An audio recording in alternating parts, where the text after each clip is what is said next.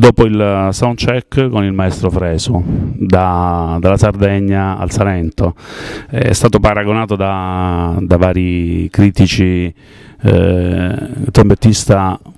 simile a Miles Davis, simile a Chad Baker, anche se hanno una diversità tra di loro, Chad Baker e, e Miles Davis. Ha suonato praticamente con chiunque facciamo prima a dire con chi non ha suonato e un sacco di onoreficenze. Ultima nel 2013, laurea honoris causa in Leggo, psicologia dei processi sociali dimensionali dei comportamenti economici all'Università della Bicocca di Milano, dottore a questo punto. Eh, il jazz quindi non è così di nicchia come si crede? Ma io credo che non lo sia per nulla, nel senso che è una musica sempre più popolare come era l'origine peraltro, perché quando il jazz è nato pensiamo sempre al jazz come una musica un po' elitaria, un po' difficile, ostica per pochi, per intellettuali. Io credo che il jazz sia nato come musica popolare dall'incrocio proprio di due culture diverse che erano quella europea e quella africana, era la musica che si suonava, che si respirava, che si ballava nelle strade, per i funerali, per i matrimoni, per le feste e quindi era una musica per tutti. Poi ha perso in un determinato momento quella idea di musica popolare e oggi secondo me l'ha anche un po' riacquistata, credo molto anche per merito dei musicisti italiani sicuramente che in questi ultimi vent'anni in qualche modo si sono interrogati sull'idea del jazz, su, si sono guardati attorno, ci siamo forse anche guardati attorno per capire che il jazz non era più una musica che arrivava solamente dagli Stati Uniti, ma era una musica che ormai metabolizzata poteva essere rimpiantata in un territorio diverso. Fortunatamente in Italia c'è un territorio fertile per quanto si voglia dire e dunque direi che oggi il jazz è una musica per tutti nel momento in cui rappresenta la gente e in cui la gente può trovare quello che vuole, quindi eh, è ridiventata musica popolare esattamente come lo era cento anni fa. Quindi il jazz che riparte dal, dal Mediterraneo, quindi dalla, dall'Italia, visti i musicisti che, che abbiamo qui in Italia. Ma il jazz è partito da, da, dal Mediterraneo, dall'Europa e io sono stato un mese fa a New York nell'ambito della settimana della cultura italiana e c'era anche una settimana, all'interno della, cultura, della, settimana sulla cultura italiana c'era anche una settimana di jazz, mm, alcuni di noi erano i rappresentanti del jazz italiano, c'ero io, purtroppo sempre i soliti, ma vabbè, eh, c'ero io, c'era Stefano Bollani, c'era Enrico Rava, alcuni altri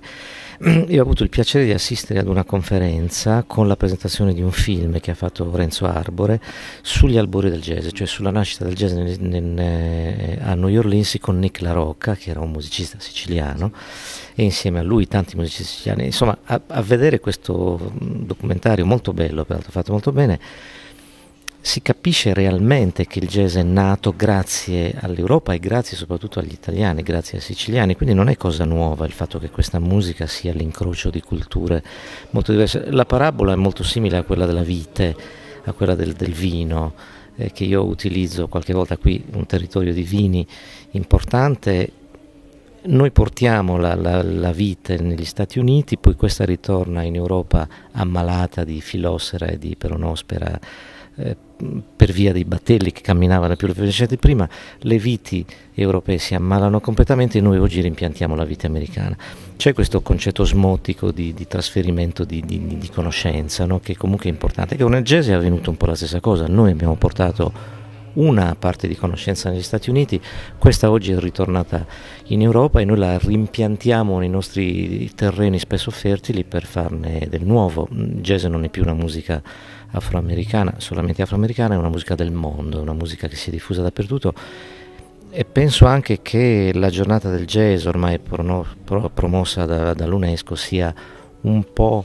la migliore rappresentazione di questo, di questo, percorso. Insomma, il jazz è una musica contemporanea che ormai appartiene a tutti, al di là delle geografie, al di là dei pensieri culturali, eccetera. Un'ultima domanda, che è il leitmotiv la domanda che facciamo poi a tutti gli artisti che sono presenti al Locomotive di quest'anno. Ma poi il jazz che senso ha? Ma io credo che questa domanda, questa riflessione vada, mm, dire, posta a tutte le musiche, a tutte le cose della vita, alle, a tutte le arti, ai linguaggi diversi. Tutto può avere un senso, tutto non, non ha senso. Il senso va dato da ognuno di noi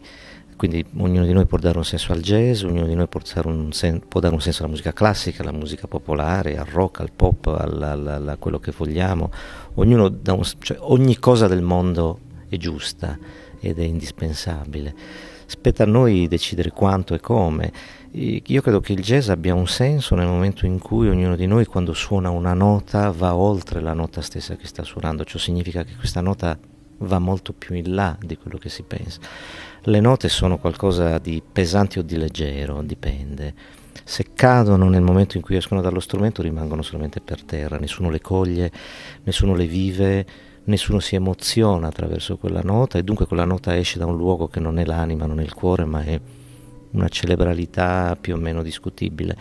Io credo che il jazz abbia senso nel momento in cui si esce dalla dimensione di questa parola così breve di quattro, di quattro lettere e si va in un mondo estremamente più vasto, quale è quello del jazz, che è la musica dei migranti, di quelli che si sono mossi. Probabilmente il jazz è l'unica musica senza entrare in merito nel dire che è quella più importante e quella meno, ma sicuramente è l'unica musica che ha completamente raccontato il Novecento e lo ha rappresentato bene. Dunque il senso del jazz dipende da noi, dalla nostra capacità di non chiuderci dentro quel piccolo, quella piccola parola che non lo rappresenta assolutamente e che invece può essere un senso molto più vasto e molto più ampio. Se ognuno di noi in qualche modo pensa alla musica come una,